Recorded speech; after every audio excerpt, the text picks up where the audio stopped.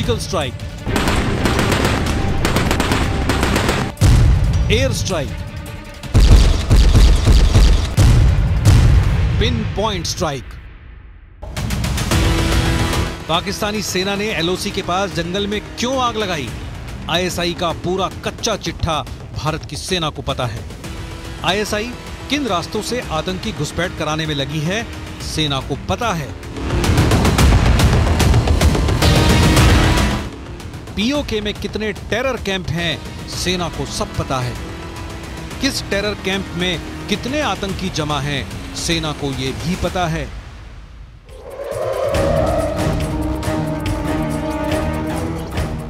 आतंकियों के पास कौन कौन से हथियार मौजूद हैं, ये सब भी सेना जानती है। एलओसी के पास कहाँ कहाँ आतंकियों के लॉन्चिंग पैड बनाए गए हैं एक एक लोकेशन की जानकारी है।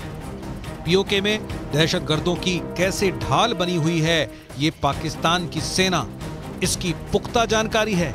कश्मीर में अशांति फैलाने की साजिश रच पाकिस्तान ने बहुत बड़ी गलती कर दी है। अब पाकिस्तान को एक बार फिर एयर स्ट्राइक का खौफ सताने लगा है। पाकिस्तान की सेना की नींद उड़ गई है। आतंकियों को सर्जिकल स्ट्राइक का खतरा सताने लगा है। सर्जिकल स्ट्राइक के डर से आतंकियों की नींद उड़ी हुई है। आतंकियों को सुरक्षा देने वाली पाकिस्तानी सेना डरी हुई है। भारत के खिलाफ साजिश रचने वाली आईएसआई को भी नाकामी का खौफ सता रहा है। बड़ा सवाल है, क्या रात के अंधेरे में एक बार फिर लिखी जाने वाली है सर्जिकल स्ट्राइक की स्क्रिप्ट? क्या एक बार फिर बॉर्डर पार कर भारत की सेना आतंकियों के खिलाफ खतरनाक ऑपरेशन को अंजाम देने वाली है? वजह नंबर एक, श्रीनगर बारामूला हाईवे पर बम डिफ्यूज किया गया। वजह नंबर दो, आतंकियों की घुसपैठ कराने में लगा है पाकिस्तान। वजह नंबर तीन, एलओसी के पास जंगल में आग लगाने की साजिश का पर्दाफाश। वजह नंबर चार, आतंक के नेटवर्क को तोड़ने लगी भारतीय सेना। वजह नंबर पाँच, राजौरी में सेना की एक पूरी ब्रिगेड की तैनाती। श्रीनगर बारामूला हाईवे पर सुरक्षा बलों ने आतंकियों की पूरी साजिश को नाकाम कर दिया है। आप सुन सकते हैं, बहुत ज़बरदस्त धमाका हुआ तो इसी के साथ ही इस आईडी को नाकारा किया गया। इस आईडी को तबाह कर दिया गया। इस आईडी को यहाँ पे तबाह कर दिया गया एक कंट्रोल ब्लास्ट के ज़रिए। वो थी आईडी ये एग्जैक्ट स्पॉट है, जहाँ पे ये आईडी रखी गई थी। और आईडी को नाकारा करने के लिए यहाँ पे आर्मी के बॉम्ब डिस्पोजल स्क्वाड को लाया गया था और बिलाखिर इस आईडी को एक धमाके के साथ जो है वो तबाह कर दिया गया। दूसरी ओर, पुंछ में आतंकियों की तलाश में बहुत बड़े स्तर पर सर्च ऑपरेशन चलाया जा रहा है। सुरक्षा बल ने आतंकियों के मददगारों पर भी शिकंजा कसना शुरू कर दिया है। पुंछ से आतंकियों की मददगारों को हिरासत में लिया गया है, जबकि सीमा पार से पाकिस्तान की बहुत बड़ी साजिश का पर्दाफाश हुआ है। सुरक्षा बल को श्रीनगर बारामूला हाईवे पर लवाएपोरा में संदिग्ध आईडी मिली। संदिग्ध आईईडी मिलने के बाद बम निरोधक दस्ता हरकत में आया और वक्त रहते एक बहुत बड़ी साजिश को नाकाम कर दिया गया। ये जम्मू कश्मीर और श्रीनगर से उरी की तरफ़ जाने वाला ये रास्ता बारामूला जिस जगह पर यहाँ आप देख रहे हैं जहाँ ये आईडी रखा गया था, उरी तक श्रीनगर बारामूला हाईवे ये है और इसी हाईवे पर आगे जाकर कई महत्वपूर्ण रास्ते हैं और टूरिस्ट प्लेस भी है। पाकिस्तान से बेहद करीब और इस जगह का इस्तेमाल किया गया। और हालाँकि इसके बारे में खबर तो ये भी मिल रही है कि कुछ ऐसे संदिग्धों की भी पहचान हो चुकी है, जिन्होंने आतंकियों को मदद दी है। गुलमर्ग तक ये रास्ता जाता है, हाईवे ये जो है, कुआड़ा और गुलमर्ग जाता है। हम सभी जानते हैं, नए साल का ये समय, गुलमर्ग बड़ी संख्या में यहाँ जो टूरिस्ट है, वो आते हैं, पहुँचते हैं। बारामूला में रिटायर्ड एसएसपी की हत्या भी की गई थी। इस जगह को टारगेट खास करके इसलिए किया गया, जैसा सुबह से ही बता रहे थे आपको न्यूज़ एटीन इंडिया के रिफत कि यहाँ पर सुरक्षा बलों को निशाना बनाने के लिए वो आईडी रखा गया था। पुंछ में डेरा की गली में हुए हमले के मामले में पुलिस ने पंद्रह लोगों को हिरासत में लिया है। ये वो लोग हैं जो डेरा की गली के पाँच किलोमीटर के दायरे में आते हैं। हिरासत में लिए गए लोगों पर आतंकियों की मदद करने का शक है। पुलिस अब इन्हें हिरासत में लेकर पूछताछ कर रही है। सूत्रों के हवाले से खबर सामने आई है कि पीओके से 200 आतंकी घुसपैठ की फिराक में हैं। पीओके और एलओसी से इंटेलिजेंस को एकदम लेटेस्ट इंफॉर्मेशन मिली है, जिसके मुताबिक पाकिस्तान आतंकवादियों के कई ग्रुप तैयार कर रहा है और इसके लिए उसने उनके ट्रेनिंग कैंप कई क्लस्टर में एक्टिव किए हैं। रिपोर्ट तो ये भी है कि पाकिस्तान ने सभी लॉन्चिंग पैड एलओसी के आसपास एकदम तैयार कर दिए हैं। पुंछ के डेरा की गली में हुए आतंकी हमले के बाद से ही लगातार एलओसी पर घुसपैठ की कोशिश बढ़ गई है। आतंकी साउथ के पीर पांजाल के इलाके में राजौरी पुंज से लेकर अखनूर सेक्टर तक लगातार घुसपैठ की कोशिश कर रहे हैं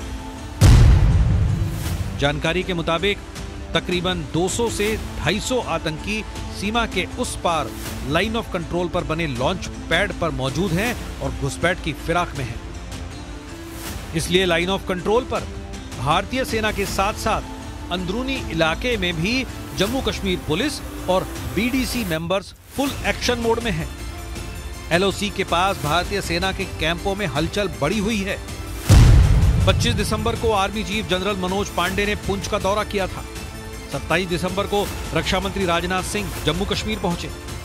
सेना के कमांडरों के साथ राजौरी का दौरा किया। रक्षा मंत्री और आर्मी चीफ के बैक टू बैक दौरे के बाद पाकिस्तान में बैठे आतंक के आकाओं को खौफ सताने लगा है कि भारत कुछ बहुत बड़ा करने जा रहा है। आपके शौर्य और पराक्रम पर, दोस्तों, हम लोगों को पूरा विश्वास है। आप आगे बढ़िए। आतंकवाद का सफाया जम्मू कश्मीर से होना चाहिए। इस संकल्प के साथ आप आगे बढ़िए। मैं आपको हार्दिक शुभकामनाएँ देता हूँ। आप विजय हासिल करेंगे। मुझे पक्का विश्वास है। पक्का विश्वास है। सेना ने आतंकियों के खात्मे और आतंक के नेटवर्क को तोड़ने के लिए पूरी कमर कस ली। सोमवार को आर्मी चीफ के दौरे के बाद, राजनाथ सिंह के घाटी दौरे के बाद पाकिस्तान की खुफिया एजेंसी चौकन्ना है। और इस बीच रक्षा मंत्री राजनाथ सिंह के राजौरी दौरे के बाद सेना ने बड़ा फैसला ले लिया। आज से ही राजौरी में अतिरिक्त जवानों की तैनाती होगी। तफसील से आपको बताते हैं कि यह तैनाती कैसे होगी और राजौरी में सेना की एक पूरी ब्रिगेड तैनात यहाँ पर की जाने की तैयारी की जा रही है। दरअसल, चार से पाँच बटालियन से बनती है एक ब्रिगेड अब यह भी जान लीजिए कि एक बटालियन में आखिर कितने जवान होते हैं। इनकी तादाद 1200 होती है 1200 जवान। मतलब अतिरिक्त 6000 जवानों की अब तैनाती होगी।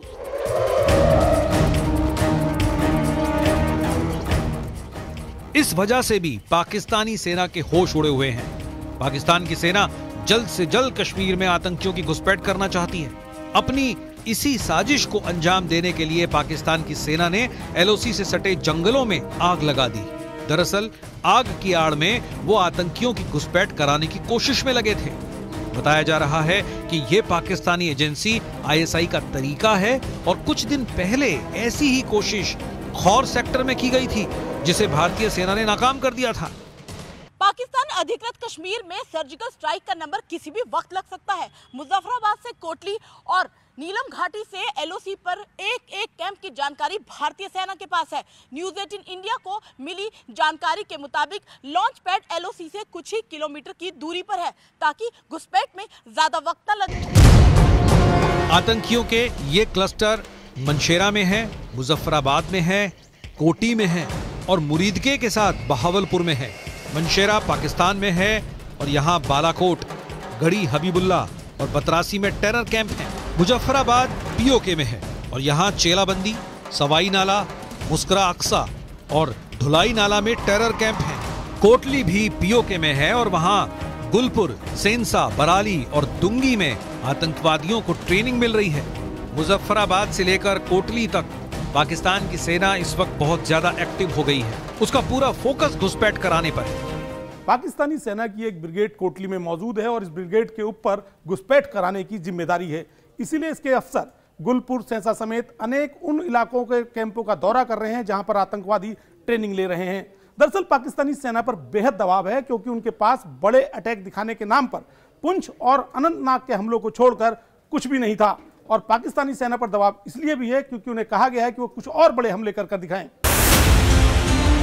पाकिस्तान की तरफ़ घुसपैठ की कोशिश हमेशा होती रहती है, क्योंकि कश्मीर के अंदर आतंकियों को मदद चाहिए।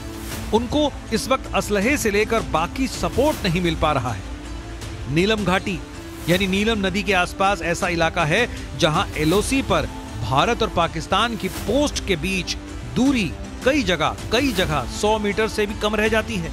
यहाँ भारत और पाकिस्तान की फौज एक दूसरे की आँखों में आँखें डालकर देख सकते हैं। कुपवाड़ा और बारामूला में एलओसी के पास ऐसे इलाके हैं जहाँ किशनगंगा नदी गुजरती है। इस नदी को पाकिस्तान में नीलम कहा जाता है।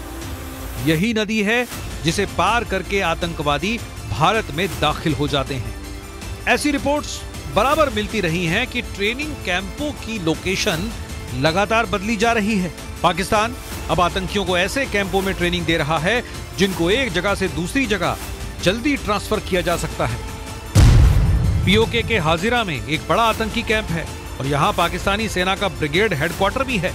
इसलिए इस कैंप में आतंकियों की ट्रेनिंग पाकिस्तान की सेना के बड़े अफसरों की देखरेख में होती है। इसके अलावा वहीं नीलम घाटी के पास पीओके में काली घाटी इलाके में भी टेरर कैंप एक्टिव हैं।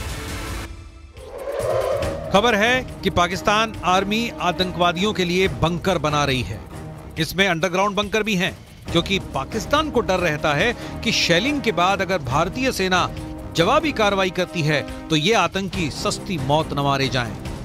इसलिए लश्कर और जैश के बड़े कमांडरों की देखरेख में ये कैंप चौबीसों घंटे अलर्ट रहते हैं आतंकवादी कई किलोमीटर पहाड़ों को पार करते हुए घुसपैठ करते हैं। नदियों और नालों के बीच होते हुए, जंगलों से गुजरते हुए आतंकवादी भारत के हिस्से वाले कश्मीर में दाखिल हो जाते हैं। लेकिन इनकी लॉन्चिंग पाकिस्तान के कब्जे वाले कश्मीर से होती है, जहाँ बने हैं लॉन्चिंग पैड। यहाँ आतंकवादियों को पहुँचाने से पहले दो तरह की ट्रेनिंग दी जाती है, या कह सकते हैं कि उनको दो आतंकवाद वाले कोर्स कराए जाते हैं। पहला कोर्स तीन महीने का है जिसमें आतंकवादियों को एडवांस कॉम्बैट ट्रेनिंग दी जाती है। उनको ए के जैसे कुछ छोटे हथियार चलाना सिखाया जाता है। दूसरे कोर्स में उन्हें कमांडो ट्रेनिंग दी जाती है। जंगलों में ज़िंदा रहना और जीपीएस और वायरलेस जैसी कई तरह की तकनीकी ट्रेनिंग भी उन्हें दी जाती है। भारत के पास पाकिस्तान के प्लान की पूरी रिपोर्ट है। ओकारा से लेकर मुजफ्फराबाद तक आतंकवाद के कारखानों की पूरी लिस्ट तैयार है। इस वक्त सेना के पास पाकिस्तान में टेरर इंफ्रास्ट्रक्चर और आईएसआई के बैकअप की पूरी रिपोर्ट है। पाकिस्तान को भी पता है कि भारत की सेना मनशेरा में कभी भी सर्जिकल स्ट्राइक कर सकती है। मुजफ्फराबाद में कभी भी एयर स्ट्राइक कर सकती है। साथ ही कोटली में मौजूद आतंकी कैंपों पर भारत की सेना कभी भी कोहराम मचा सकती है, जिसे फौजी ज़ुबान में सर्जिकल स्ट्राइक कहा जाता है। ज़ाहिर है सब कुछ पाकिस्तान से हैंडल किया जा रहा है। जम्मू कश्मीर में एक के बाद एक मिलती नाकामी से आईएसआई बुरी तरह से परेशान है। यही वजह है कि आतंकियों के घुसपैठ की नई नई साजिशों को वो अंजाम देने में लगी है। लेकिन भारतीय सेना की चौकसी से उसके सभी मंसूबों पर पानी फिरता जा रहा है।